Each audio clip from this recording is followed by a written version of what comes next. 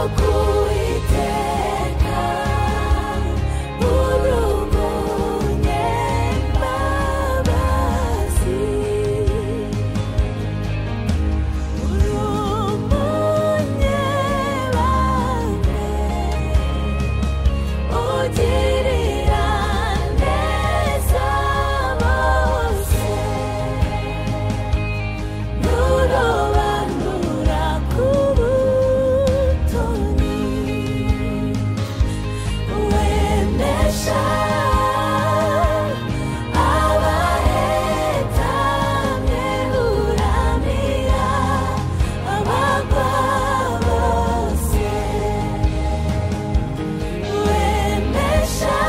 Hari ibitaro.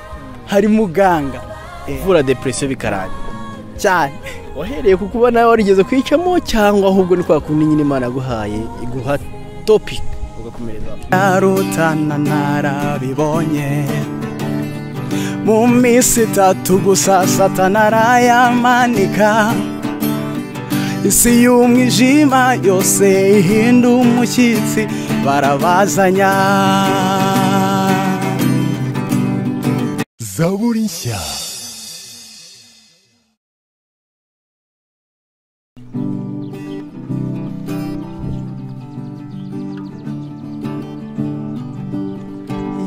yizere yizere yizere yizere. Nubwo ibihe byahinduka ihora ariyo kwizerwa. Nubwo abantu bahinduka ihora ariyo kwizerwa. Turabasuhuje abakunzi b'umusaraba abakunzi bazabona icya imana ibaha umugisha kuba bafunguye bagakurikiza zaburi nshya.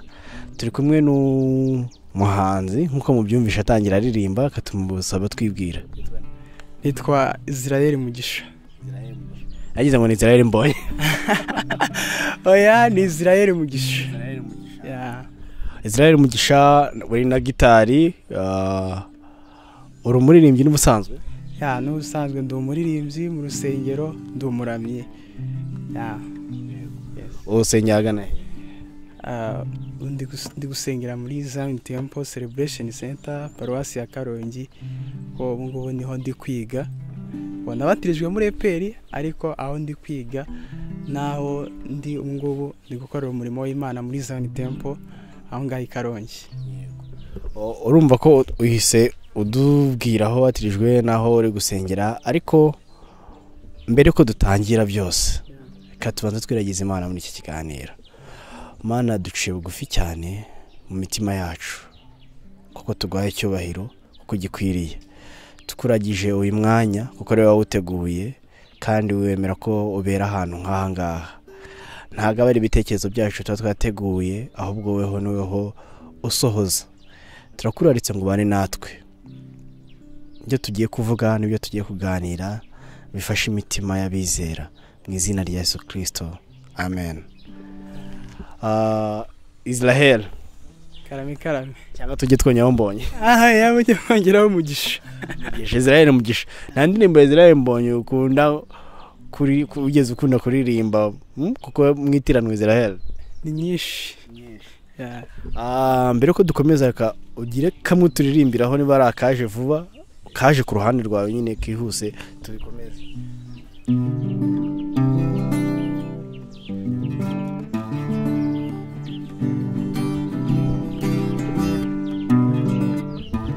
Uri namba wa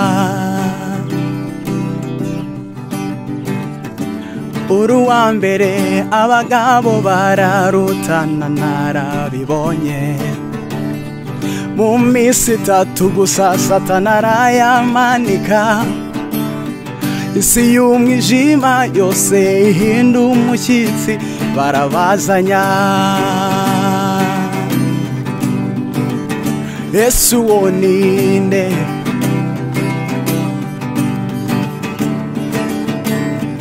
uwo munsi izuba naryo rirabimenya ikirere na cyo kiti nabyumvise. Imfuruka z'isi zose zirabihamya arabazanya mbese uwo ninde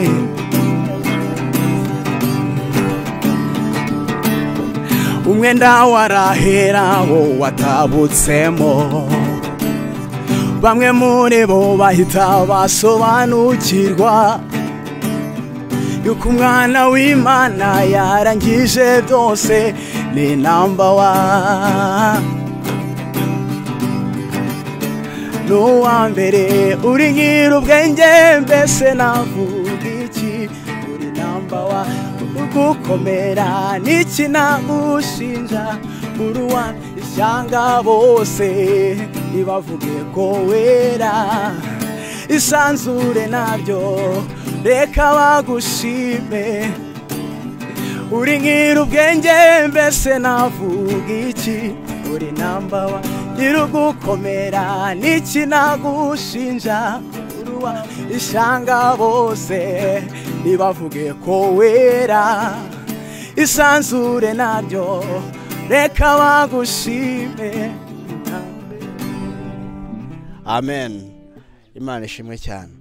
Ah, indirimbo ivuga ngo uri namba wani Ah, niyo israel mbonye isi kuza mu hafi. Mu gutangira ubuzima bwa israel mugisha. Kugira ngo abantu batazakwitiranya namba israel mugisha. Israel mugisha. Ah, wavukiye hehe ese wakuze gute? Tunyure gato muri ubwo buzima tuze kugera aho wahuriye na kirisito ya njye navukiye n'ubundi nabwiye karongi. Bo mvukira mu mu muryango w'abantu bakijijwe.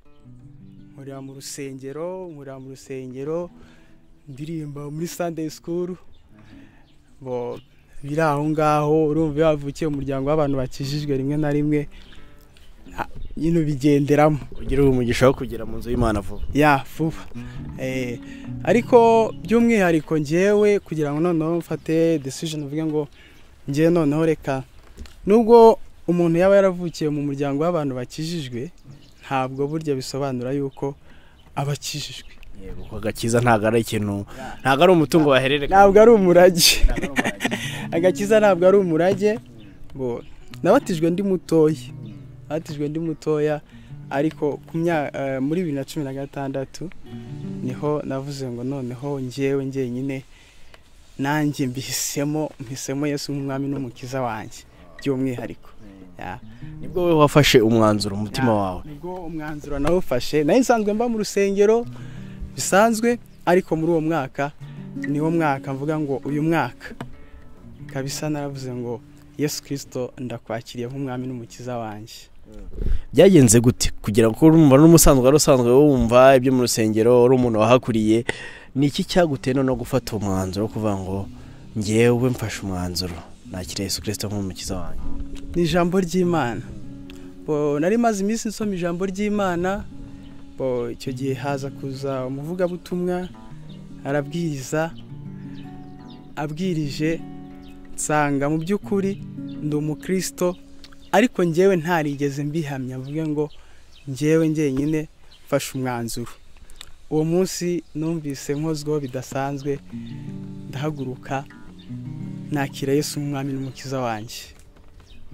Uwo munsi bakubwiriza wumvishe ko wabaga mu rusengero ariko ntabwo wari warigeze uhamya. Ntabwo warigeze uhamya. Ntabwo nari narigeze mpamya. Ya. Wari ukiri n'ubundi muri urwo rusengero wakuriyemo ya nirwo nari nkirimo. Nta nubwo wigeze utekereza uko abandi bari bubibone n'iki? Eh, ntabwo byabura kuko ukuvuga ngo abantu iyo basanzwe bakubona uririmba ucuranga uvuga ijambo ry'imana bavuga ati arakijijwe. None ni gute agiye kwakira kandi yesu nk'umwami n'umukiza we. Ariko biba ari byiza yuko umuntu avuga ngo mfashe umwanzuro ngewe ntangiye urugendo rw'agakiza bya nyabyo. Mm. bivuze ngo aho ngaho ni uko nyine ijambo ry'imana ni bwo ryagutsinze ubundi. Ku gihe cyose wari warabereye mu rusengero. Cyane. Uko wakuriye mu rusengero? Oh, kandi ah, abantu bakuriye mu rusengero cyane cyane bakuranye baku- ari abana b'ababyeyi bakijijwe bagirwa umugisha wo kugira bimwe ba- bamenya byo mu rusengero gucuranga n'ibindi. Uku gucuranga gitari kwawe byatangiye ryari? Gucuranga gitari mbitangiye vuba cyane. Ah, ubundi ubusa ikintu nabanje piyano piyano abantu banzi bazi ko ndi umucuranzi wa piyano Eh, ariko gitari nyine kubera ukuntu iba iri porutebo navuze ngo reka na yo ngireho ubumenyi nyine. Gitari byo ni vuba cyane. Gucuranga piyano bitangiye ryari? Byat- byatangiye gute? Eh, gucuranga piyano kuva ndi umwana narabikundaga. Narebaga abantu babikora bo nkumva ndabikunze cyane. Nkumva ndabikunze ah, sinakibuka neza ariko nigaga muri pirimeri ni- ah, ni kera. Ndatangira ah, ari ibintu bi- bitoya cyane. Umuntu hari umuntu ba- nagiraga umugisha ibyuma bya muzika bakabibika mu rugo. Niwe wadusigiye narangiza rero nka- nkabona uko mbitiripota ni we ni we wadusigiye urumva ba- basigaga rimwe na rimwe banabicometse cyangwa bakaza kuharepetera eh, nkajya gukoraho rero. Mm. ndabikunda cyane ngiye muri segonderi nkomeza kubikora muri mu- muri korali zo ku ishuri.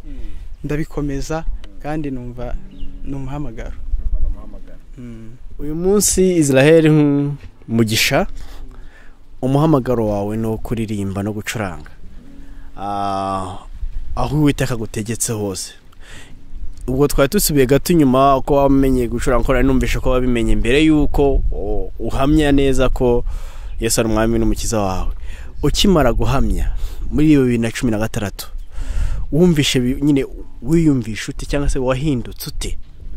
Nkimara guhamya numvise impinduka. Numvise imibereho na- nabagamo ikwiriye gutandukana n'iyo umuntu noneho amaze gufata umwanzuro. Ni ngo umuntu ashobora gucuranga mu rusengero cyangwa akaririmba ariko ibyo ngibyo akabikora ari nka entertainment. Ari nko kwishimisha. Ariko nyuma y'icyo gihe iyo ndi gucuranga njya ncuranga mvuga ngo ndimo ndahimbaza imana. Mm. Bivuze ngo tugereranyije mbere we- weho ukimara guhinduka. Uko wumvishe uhindutse muri weho nuko wari uri imbere kuko n'ubundi byose mbere wari uri mu rusengero na nyuma kandi wari uri mu rusengero. Eh. watangiye kuko itandukaniro Eh, itandukaniro ryabayemo ni ukuvuga ngo mbere. Buzima? nabikoraga nyine kuko abandi babikora kuko abandi ba- ba- baririmba nanjye ndirimbe abandi bacuranga ndumva ari byiza. Ariko nyuma yaho natangiye kubikora numva na ibu iyo ncuranze iyo ncuranze mu rusengero ubundi umucuranzi mu rusengero njya numva gucura mba numva gucuranga birenze ibyishimo byo- kumva ngo ndi gucuranga. Mba numva meze nk'u- nk'umuntu uri imbere y'imana ndimo nyicurangira. Iyo ndi mu rusengero ndamya imana mba numva nezerewe cyane. Nkanezerwa bitandukanye na mbere. Mbere nashoboraga kunezerwa kubera ko igihe ucuranga mu rusengero ukabona abantu banezerewe. Bakavuga ngo wawu wacurangiraga abantu ucurangira imana. Imana. Noneho mu gucuranga mu buzima bwa gikristo oh, urumva wakuriye ahantu ubona ibyuma ahantu ubona abaririmbyi ah, ahantu nyine haba indirimbo. Weho ntabwo wigeze utekereza ku- kuba muri korali ntabwo waba korari nazibagamo. Kuva muri za zindi zo hasi z'abana za ekore de dimanche nazibagamo. Nazibagamo rwose. Nk'umuntu w'umuhanzi ntabwo wigeze unabahimba indirimbo nk'imwe? Eh indirimbo nagiye nzibahimbira. Ah, ah, abantu abo aho nagiye niga aho nagiye hose nagiye mbahimbira indirimbo. Mm, nabahimbiraga indirimbo. Bino mu kintu cyanteye inspiration yo kumva cyanteye kumva ko nabikora. Mm. ko na- nabahimbiraga nk'indirimbo nkabona abantu bayikunze nkabona abantu bayinezerewe. Eh, bakambwira ati wow. Njye ntabwo numvaga ko nyine na ntabwo numvaga ko ndi kuvuga ngo nahimba indirimbo. Indirimbo abantu bayumve bayikunde rimwe ndabigerageza nyigisha abantu. Ariko sinabwira ko ariyo nahimbye. Ndayibigisha gusa. Ah, ibi nyine urumva twumva indirimbo ku bandi bahanzi ku yandi makorari akomeye ugahita uza ukaza muri korari ukaba, mfite indirimbo ndayibigisha. Ukabigisha indirimbo. Uwo munsi rero ndaza indirimbo ndayibigisha baravuga ati nyine buriya nisanzwe ya- ya- ya- yakuye ahandi. Mbona barayikunze mbona mu itorero ukuntu nyine hari ukuntu indirimbo ubona nko muri korari cyangwa se muri worship team. Ukabona mu rusengero barayikunda pe. Mbona barayikunze. Nyuma ndababwira ngo burya iriya ndirimbo nabigishije ni iyanjye. Ni na yo ndirimbo wari uhimbye bwa mbere? Ya niyo na yo indirimbo nari impimbye bwa mbere. Ariko kuva kera nyine byambagamo nkaba wenda ni nko kumva nkumva amagambo araje nkumva ritimi iraje nkabiririmba nkahita mbyibagirwa iyo ya mbere wahimbye waba uyibuka ndayibuka cyane turirimbiraho gatoya. Babarira se ok nta kibazo. Abandi bayikunze. Ariko nta kibazo. Zimwe mu ndirimbo wowe wahimbye. Nyuma yaho iyo yabaye itangira ryo guhimba yabaye itangiriro. Yabaye itangira ryo guhimba. Mm, yabaye itangiriro rwose. Noneho nyuma yaho umaze guhimba indirimbo ya mbere wumvishe irakunzwe byaguhaye iyihe shusho? Cyangwa se byakukuremyemo iki mu mutima wawe no mu mutwe mu mitekerereze yawe? Ikintu byandemyemo icya mbere ni icyizere. Kabiri bindemamo kumva yuko ari umuhamagaro. Umuntu umwe warimo atera asetsa abantu ababwira ngo nuririmba indirimbo ya mbere. Ukaririmba iya kabiri ukaririmba iya gatatu ukabona ntibahagurutse ngo jya gushaka indi bizinesi yawe aho ntabwo ari ahawe ngo sahawe ariko nkoze indirimbo indirimbo ya mbere mbona abantu barayikunze nkoze iya kabiri bati bino bintu ni umuhamagaro hano bambwira ati bino bintu ni umuhamagaro wawe nanjye ndumva ndabikunze icyo ni cyo kintu gikomeye byandemyemo uwo nk'indirimbo ya mbere iyo ya mbere wayigishije wayigisha nko muri ryari mu kwezi kumwaka Ya, n'ubundi ni muri uwo mwaka ni muri bibiri reka ndebe nibuke neza ariko ni muri bibiri na cumi na karindwi. Bivuze ngo guhimba indirimbo igafata ikaremeka nyine ukuzura byatangiye ari uko wakiriye wahamije ko wakiriye yesu kirisito ntabwo wumvishe ari ibintu bi ni ikintu cy'igitangaza. Si uko mbere indirimbo zitanzagamo. Ubu n'ubu ndi mu muhanda ngenda indirimbo rwose njya kumva nkumva iraje nkafata telefone nkayirikodinga kuko ntayirikodinze ntayibagirwa. Nkahita nyirikodinga naza kwicara ntuje nkongera nkayumva nka- nkayitaho noneho. Ariko icyo gihe byanzagamo nyine bikaba biri aho bikarangirira aho gutyo. Icyo gihe umwuka wera yakuzagaho ariko ntabwo wari utaramwemerera ngo aterateranye ibyo bintu byose abibike hamwe. None se urumva mu guhimba hari akantu mvuzemo ngo igiza ndi no mu muhanda ngenda. Pe? Indirimbo zawe ziza gute? Bise bintungura nibaze indirimbo zawe wicara ugasoma cyangwa n'ubundi zose ziza muri ubwo buryo bwo. Ubundi ukora indirimbo ziza nshobora kuba gutya ndi mu muhanda ngenda nkahita numva indirimbo iraje nshyashya nkayirikodinga. Ubwo ni uburyo bumwe ariko na byo iyo mbitekereje neza nyine nkabyanariza nkabireba usanga na byo biba bifite isoko. Ni ukuvuga ngo dushobora kuba mu materaniro. Nka pasiteri akigisha yabwiriza kuko njye mu materaniro iyo babwiriza ndakurikira cyane. Ya magambo akankoraho. Indirimbo ishobora guhita- kudahita iza ako kanya. Ariko mu kindi gihe runaka nkaza kumva indirimbo iraje ijyanye n'ijambo ry'imana bigishije. Bakaba babwirije? Babwirije babwirije barahava itaje? Itaje. Ariko nyuma y'igihe runaka indirimbo ikaza kuza. Yije umwuka wera yikuzanira gute? Wumva ari nk'umuntu uri kwikuririmbira mu ijwi cyangwa wumva ari ibintu biri kwiteranya mu mutwe wawe? Oya. Indirimbo iraza nkumva mu mutwe irimo nkaririmba gutya. Nkaririmba nkumva hari amagambo akurikiyeho gusa nyine nta ntasanzwe nzi. Andi magambo akurikiye nkaririmba nkaririmba nkaririmba nkumva indirimbo nk'ibika nkabinga nk'ibice nkabinga bi- biraje. Waba ushobora kuba uri mu nzu ugenda ugahabwa indirimbo igahita yuzura bikarangira. Oya ntabwo yahita yuzura. Urumva, nshobora guhabwa nk'i- nk'igice na refuri noneho nyuma nkagenda nkicara nkareba bya bindi nkasoma ijambo ry'imana nkumva ibindi bintu by'ijambo ry'imana hakaboneka ibindi bice. Eh, hashobora kuboneka nk'agace kamwe na refuri ntabwo indirimbo yose ya- ya- yari yanzaho ngo numve iraje. Mu mu mu buhanzi hari hari bamwe bahabwa indirimbo baryamye weho urumva ushaka no kwihabwa ugenda. Nese nta nubwo ijya igusa iyo mpano cyangwa se umwuka wera ajya gusura mu nzozi ngo ubwo ayiguhereze gutya nabwo bigende gutya. Ibyo ntibirambaho. Cyakoze igiheruka kumbaho niyanjemo noneho ndaryama.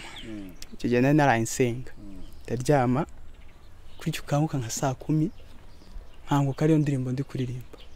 Nari yanjemo ku kagoroba ariko sinayitaho sinayirikodinga sina- sina- sinaniha valere noneho ndakanguka. Nkangutse numva ya ndirimbo noneho niyo ndimo kuririmba. Nkikanguka nsanga niyo ndi kuririmba. Mm. bivuze ngo wari wayisuzuguye umwuka wera ari kugarurira.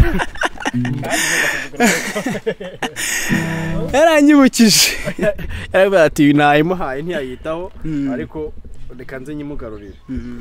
Ah, mu buzima bwawe bwo kuririmba waciyemo urumva byaje byose nyuma y'uko umaze kwa- kwakira yesu.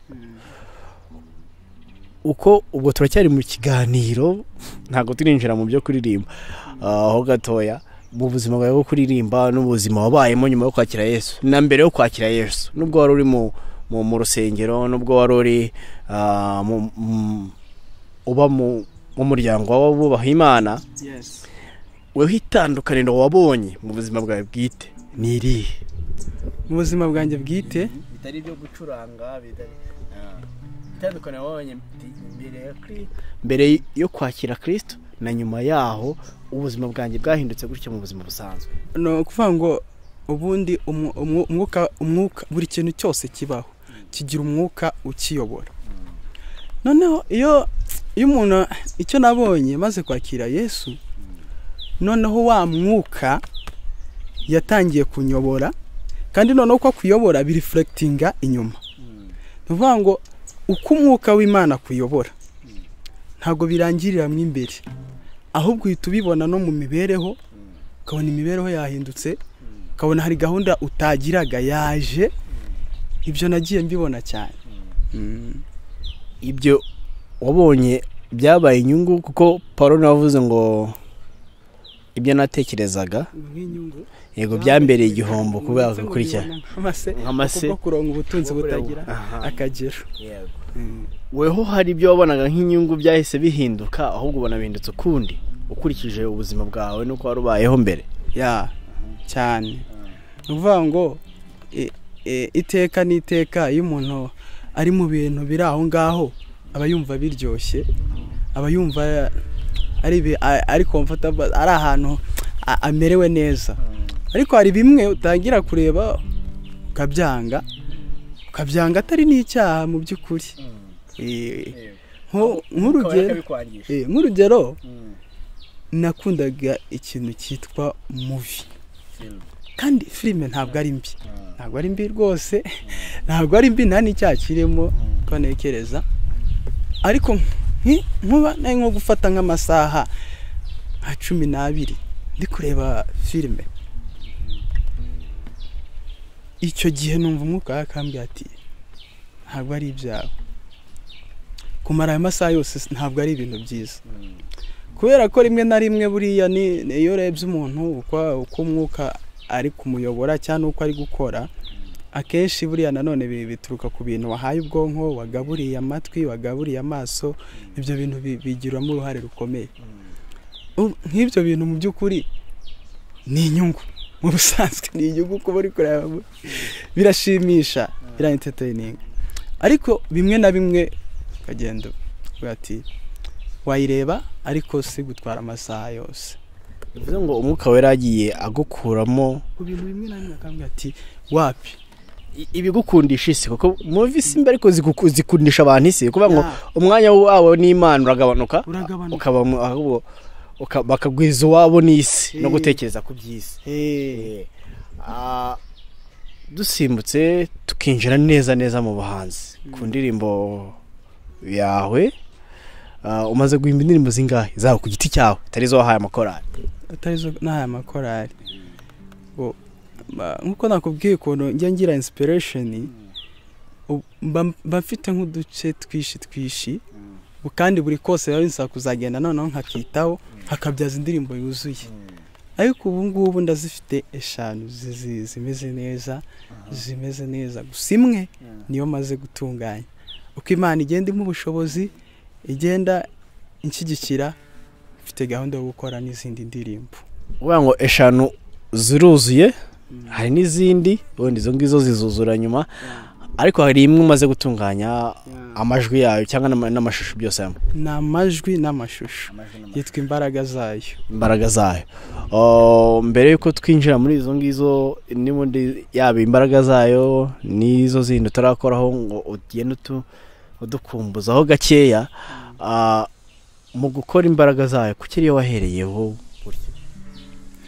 gukora imbaraga zayo nu- n'uburyo nabonye n'uburyo nabonye impumeko yayo na byo byavuye ku ijambo ry'imana.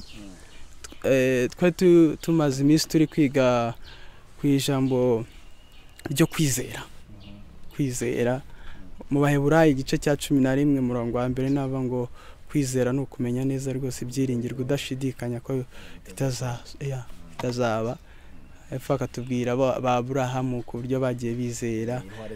Ya akatubwira intwari zo kwizera nyinshi. Icyo kintu cyam- cyambereye icyo kintu cyangiye mu mutwe cyane. Muri icyo gihe nari ndimo mpita nandika iyo ndirimbo kuko iyo ikintu iyo cyankozeho mba nshobora kucyandikaho indirimbo. Reka tuyiririmbeho gatoya kuri utwo duce noneho tunayivugeho tubone no ku- no kurangira n'abantu ahandi bakomeza kujya bayikurikirana yuzuye.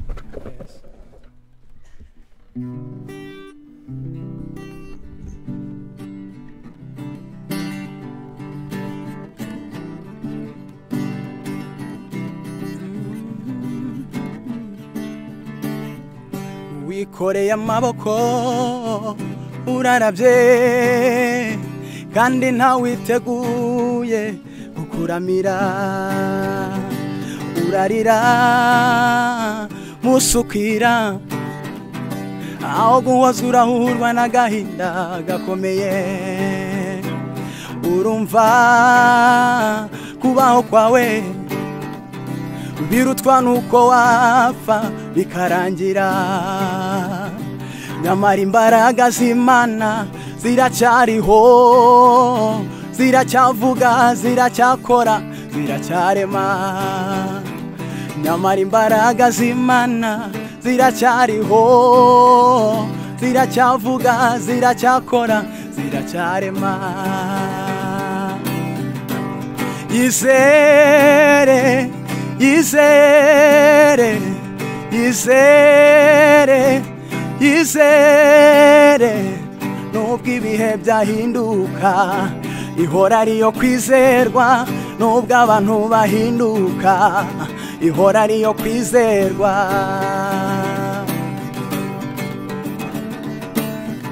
Niba imbaraga zazuye razaro zikiri za zindi niba izafunze ya minwa y'intare ntaho zagiye. Niba imbaraga zimana zitajya zihinduka iki kiguteye ubwoba? Komera ushikame. Niba imbaraga zimana zitajya zihinduka niki kiguteye ubwoba? Komera ushikame. Yizere yizere. Yizere yizere nubwo ibihe byahinduka ihora ariyo kwizerwa nubwo abantu bahinduka ihora ariyo kwizerwa. Yamana itanga amazi mu butayu yamana itanga amanu ku buntu uko yari iri n'ubu niko iri imbaraga zayo ntizahindutse nato. Guma mu masezerano nubirakora yamana itanga amazi mu butayu yu, yu, yu, yu. yamana itanga amano ku buntu uko yariri n'ubu nikwiri imbaraga zayo izahindutse nato goma mu masezerano nubirakora yizere yizere yizere yizere. Nubwo ibihe byahinduka ihora ariyo kwizerwa nubwo abantu bahinduka. Ihora ariyo kwizerwa.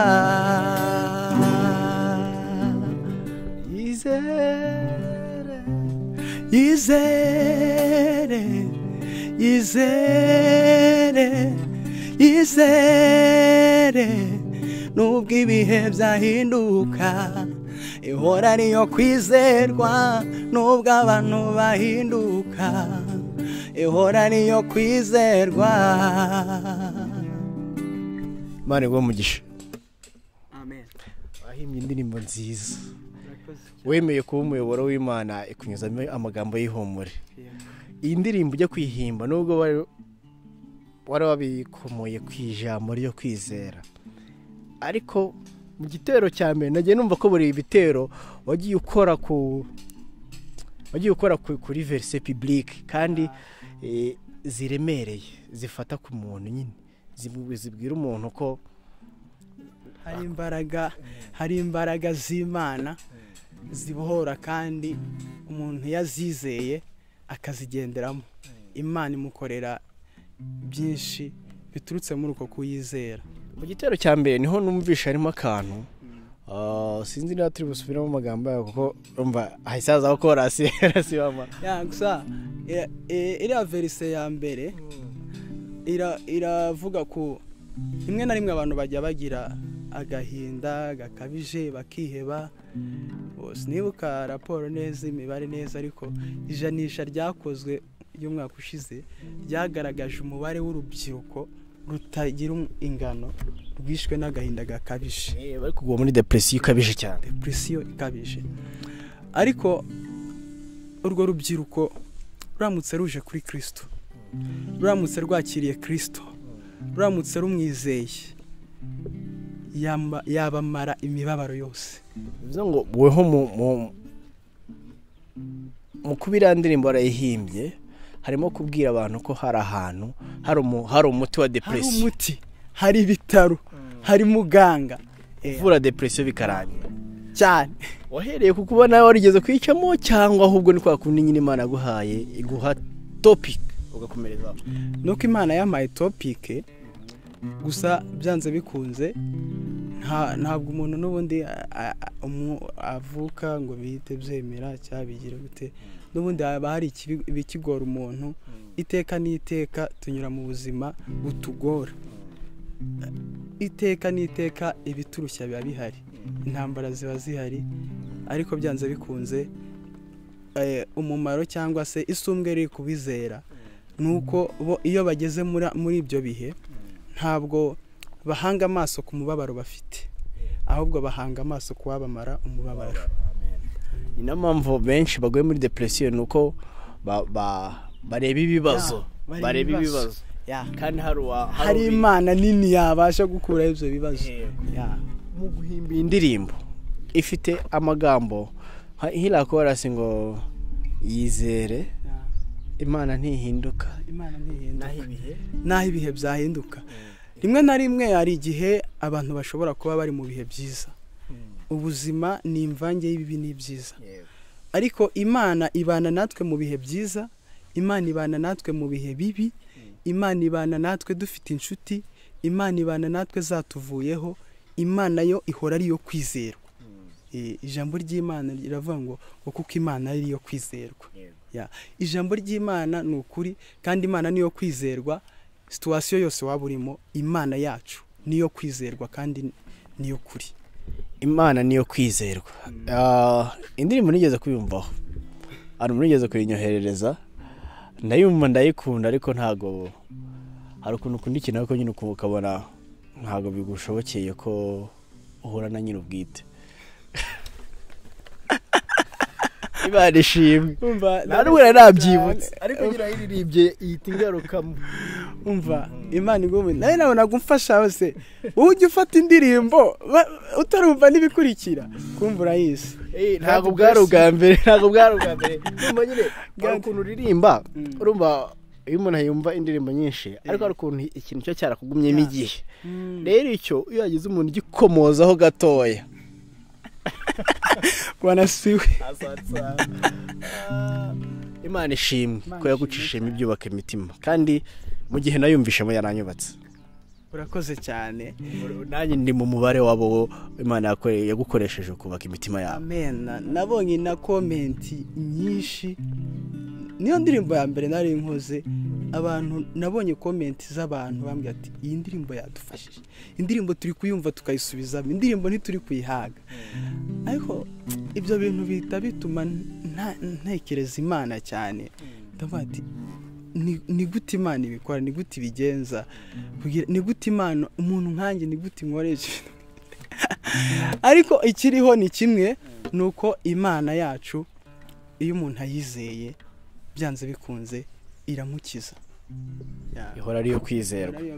Imana ishimwe cyane. Mu kwandika iyi ndirimbo no mu guhimba mu kujya muri studio wayikoreye agana hehe indirimbo nayikoreye muri studio yitwa ahava studio. Ya, n'ubundi iri karongi. Niho nayikoreye.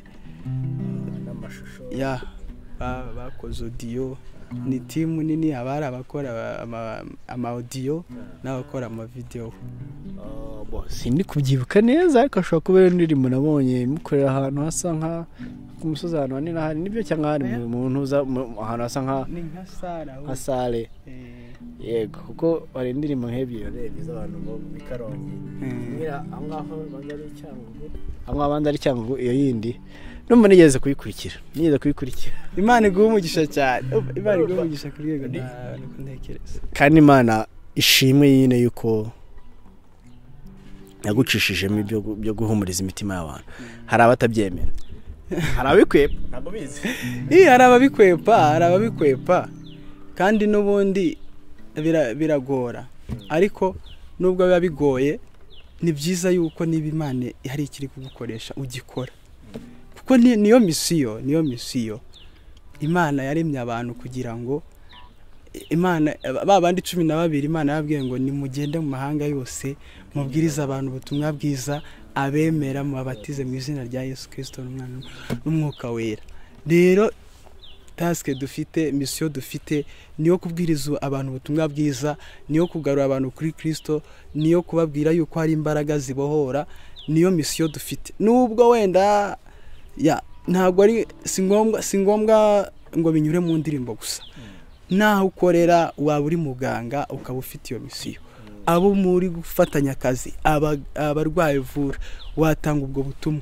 Akazi kose waba ukora wakoramo iyo misiyo yo kwamamaza ubutumwa bwiza. Hari umugabo umwe twigeze twaganira arambwira ngo ubundi iyo umaze kwizera ukabatizwa undi muhamagaro w'ingenzi uba ukurikiyeho ni uwo kujya gusangiza abandi. Ya. Iby'ubutumwa bwiza ufite. Eh, ni cyo kiba gikurikiyeho kuko ba pawulo. Aba- nka ba pawulo bariya ba petero bakimara rwose bakimara kwakira yesu bagahabwa umwuka wera. Reba aho bateraniye hariya ibihumbi bitatu abarenga ibihumbi bitatu bonyine barabaronse. Ariko icyiza ni uko uyu mwuka wera kugezemo agushoboza gukora. Kuko nawe uri umuhamya. Umwuka w'imana iyo akugezemo icya mbere aragutinyura kuko petero ya- yatinye guhamya yesu. Ariko umwuka amugezemo. Arahaguruka none haratura Wenda. Abantu babibyumve niba umuntu bya- yihakanye yesu.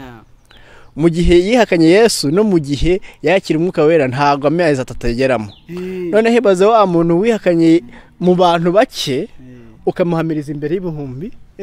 Bitatu. Bitatu. Bariya ni abihane bariya ni abi- hari abandi benshi hari abandi banze kugonda ijosi. Wakira umwuka wera nk'uko nawe umaze kwakira umwuka wera ni bwo ni bwo ni bwo waki ni bwo indirimbo yaje. Urabaza kuyifata. ya muhamagaro numva imana ijya gukomereza umu- umuhamagaro kandi ah, iguha umugisha ko ibyo uririmba nyine hari abantu hari abantu byafashe. Njyewe ndi umugabo wo kubihamya ibaze n'abandi abantu bose bafashijwe n'iyi ndirimbo mbere na mbere imana ibaha umugisha. Hanyuma n'abatarafashwa na yo baze kuyireba. Aha ahubwo twari dukurikiye aha bayisanga here hari uyumvisha ngo akaba ari bwo akiyumva. Mm, ahantu bayisanga ni, kuri youtube channel yanjye nitwa israel mugisha. Israel mugisha. Indirimbo yitwa imbaraga zayo. Banditse ngo imbaraga zayo ba israel mugisha uhita uyibona. Ukajya kuri youtube channel uga- ukayireba ukumva amagambo y'imana arimo n'ubutumwa buhum- buhumuriza ndetse ukanakora subscribe cyangwa se sabo abone ukarere kakazogera ku buryo n'izo zindi. Zizajya zibageraho ku buryo bworoshye. Bakore subscribe kandi basharinge ubutumwa bwiza. Nyine bakore bimwe nakubwiraga. Wenda nuko abantu ba- babifata ukundi ariko aho isi iri kwerekera harimo no gusangiza ubutumwa bwiza umuntu utamugeze iruhande. Rero uyu hari igihe indirimbo igufasha ukatuba ati indirimbo reka nyohereze kanaka nawe. Ntabwo uba uzi ibiharimo ariko niba umutima ubikubwiye jya ubikora. Ibikora? Uko zivuga butumwa niba ntabwo twari tuziranye mu by'ukuri. Ariko barayimpaye. Nshobora nawe yahawe n'umuntu w'icyangugu kabisa. W'umu- w'umupapa uririmba muri be, be, betaniya yego. Ngo iyi ndirimbo yayikunze ngo ninyumve nanjye. imana ihabwa icyubahiro. nta nubwo muzi imana ihabwa icyubahiro. Ntabwo n'uwo muzi pe ntabwo muzi. Gusa ariko ni ibintu ibyo ngibyo bi- binezeza umutima wanjye kandi nkumva bimpaye imbaraga. Nkumva bimpaye imbaraga nkavuga ngo sindi gukora ubusa ibyo ndi gukora hari abantu biri gufasha. Mm. urumva ni na yo mpamvu niba ni na byo twavuga ngo bazayisharinge bayihereze abantu. Oh, niba ngo yarayimpaye ikamfasha. Nawe abandi bayitanze yafasha abandi. Yafasha abandi cyane. Mu buzima bwawe bwo kuririmbira imana bwo guhanga ah, no gukorera imana mu buryo bw'ubuhanzi. Ngiye ku giti cyanjye mbifata nk'aho aba ari igice nk'uko ababwirizabutumwa bameze. Kuko umuntu yumvisha indirimbo? Eh, aba yumvise ijambo ry'imana kandi noneho akarusho kaba mu ndirimbo mu butumwa bunyuze mu ndirimbo. Buguma mu mitima y'abantu no mu mitwe y'abantu kurusha ijambo ry'imana. Kuko izi ritime ziragenda zi- hari igihe indirimbo uyumva ntigufashe. Ariko ikagusigaramo ukaza gufashwa na yo nyuma. Eh, nk'uko nyine nawe uririmbye ritime yatangira kuza amagambo gato byakubitaho nkata ne- bikata bigaruka Yego. Ah, muri uyu muhamagaro wawe Mm. wumva werekeza he mu buzima bwawe? Wumva uzakora gute? Ni gute ubona intumbero y'u- y'uyu muhamagaro wawe? Kuri aho wifuza kuwerekeza uza mu muhamagaro wawe? Uyu muhamagaro mba numva mfite intego yo kuwagura ku buryo bukomeye. Niba ndi gukora indirimbo abantu runaka bakayireba ndifuza ko ubutumwa bwi- bwiza bwagera ku bantu benshi. Ni ukuri hari abantu bataramenya kirisito bataramumenya kuko bamuniniye hari abamumenye baramuninira. Hari n'abandi batarabona ayo mahirwe. Mfite gahunda y'uko mfite viziyo yo- gukorera imana ku rwego rwisumbuye cyangwa se ku rwego ruri hejuru. Ku buryo ubutumwa ntanga bugera kuri benshi bashoboka. Hari n'aba- n'abatazi ko babohora. Hari abatabizi. Bakumva nyine mu nsengero akaba ataragize amahirwe yo gukurira iruhande rw'insengero akajya izumva gutyo ariko akaba atarahabwa umuntu. atarabihishurirwa ngo amenye rwose ko Yesu abohora. Umva kirisita arabohora kirisita arakiza kirisita ararema. Ni ukuvuga ngo imbaraga yari afite ntabwo zahindutse. Sitiri nawe aracyari wa wundi. Imana ishimwe ko mu ndirimbo babiririmbiyemo ngo wa ko yariri nobone kwirinda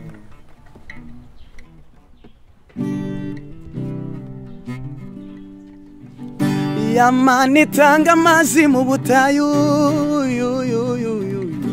yamana itanga amano ku buntu uko yariri n'ubu ntikwiri imbaraga zayo ntizahindutse na hato guma mu masezerano ntuberakora amen. Ah, uhita ushyiramo akantu keza. Guma mu masezerano birakora. Abantu benshi batakaje kwizera baka- bakamera nk'aho imana itagikora. Kubera ko byatinze.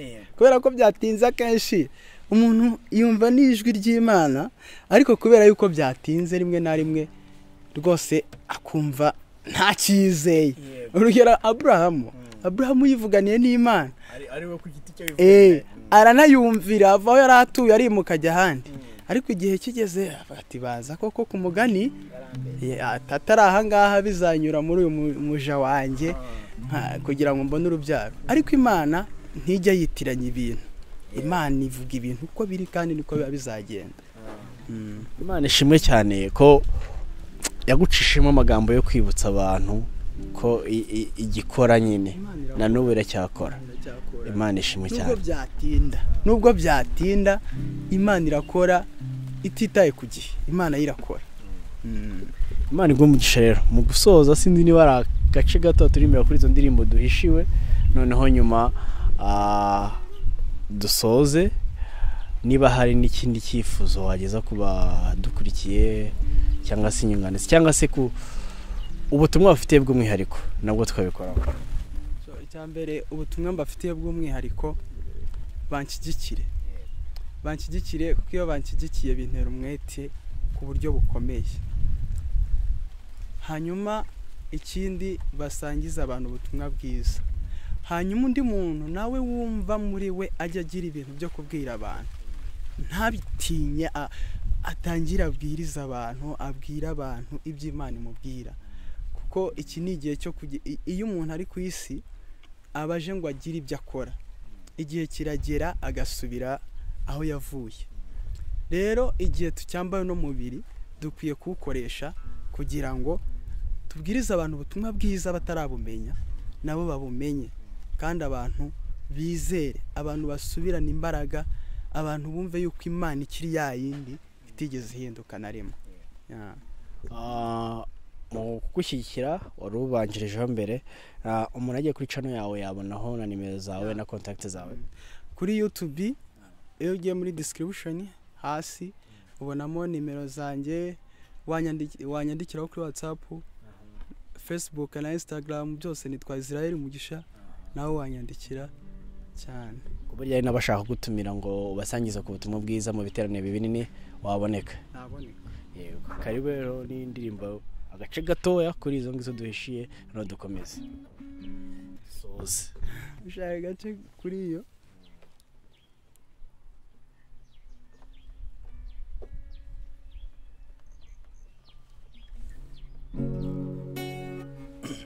Menye neza ko mu mahanga yose abubaha imana bagakora ibyo gukiranuka. Bari muri za nyenye aburahamu yabaze kandi imana yabemeye. Mu rubyaro rwayo bari muri za nyenye aburahamu yabaze kandi imana yabemeye. Mu rubyaro rwayo. Imana iguhe umugisha. Abadu- abadukurikira abakurikira za buri nshya nyaboneka tumutere inkunga. Ni na yo isohoka. Ku byo byose naryoshye uko yumvishe gato gatoya yumvisheho twakunda kuyumva. Iyi ndirimbo imeze neza. Iyi ndirimbo yuzuye umwuka w'imana n'amavuta yayo. Imana iguha umugisha. Ah, imana iguha umugisha kubwo umwanya wawe kandi imana iguha umugisha kuko wemeye kuyikorera kuko hatari abatarabyemeye Ah, imana ishimwe yuko umuntu ukiri muto mu myaka yawe gutya wemeye guhereza ubuzima bwa kirisito kuko hari ababanza kujya kwinezeza. Rero turagushimiye ukurikiye zabone nshya kandi nawe turagushimiye ko witanze. Ah, ntago ku kibuye ari hafi y'aho dukorera i kigali ariko imana ishimwe ko mu mwanya wabonyemo wabonyemo n'uyu nguyu wo gusangiza abantu ubutumwa bwiza. Turararikira abantu kujya kuri cano ya israel mugisha bagakurikiraho n'ibindi byose azajya ategura. Sibyo? Nizere ko atari indirimbo imwe gusa n'izindi zizaza na- n'amakonseri n'amasesheni kandi natwe nutwifuza tukaduhamagara tuzitaba ndabashimiye cyane ndabashimiye za buri nshya imana ibaho umugisha. Bo mbashimiye cyane uburyo mwanyakiriye uburyo mwemeye mwemeye ku- kunyakira. Iri uyu ni umurimo mukora ni umurimo mwiza. Bimwe twahoze tuvuga umurimo w'imbere ni ukuri. Umurimo w'imbere ndabakurikira mbona ari igihe mwaporodiga nka kabiri cyangwa gatatu ku munsi. Nkavuga ngo aba bantu kuki bakoresha zino mbaraga zose? Ariko nyine ni bya bindi twavuze ni ukugerageza gukoresha imbaraga zose n'umwete kugira ngo igihe nikigera turangije ibyacu tuzabe tuvuga ngo mu gihe cyacu twakoreye imana. Imana ibaho umugisha za buri nshya imana ibaho umugisha abankurikira nitwa israel mugisha. Mu- muzirebe indirimbo mukore subscribe munshyigikire mu buryo bwose kandi imana yo mu ijuru ibana nanjye kandi nzi yuko izabaho umugisha ku bw'ibyo. Imana ibaho umugisha. Asante